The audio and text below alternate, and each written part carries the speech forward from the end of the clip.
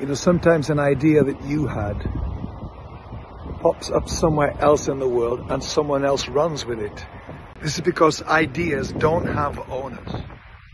Ideas don't belong to anybody. Ideas are like parentless children. They only have foster carers, as it were. Sometimes an idea that you had, that you were interested in, um, got involved with a little bit, maybe invested something into, someone else picks up and runs with and does with it what you wish you'd done with it. Don't live in regret that you didn't run with an idea someone else did. Rather, be grateful someone else picked up the idea and it got parented and used to the benefit of someone else. Ideas don't have owners.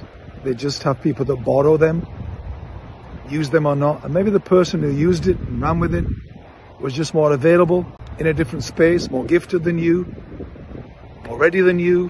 Sometimes that's why an idea thrives somewhere else and not with us. Someone else was just ahead of us in readiness and availability and openness. What do you think about that?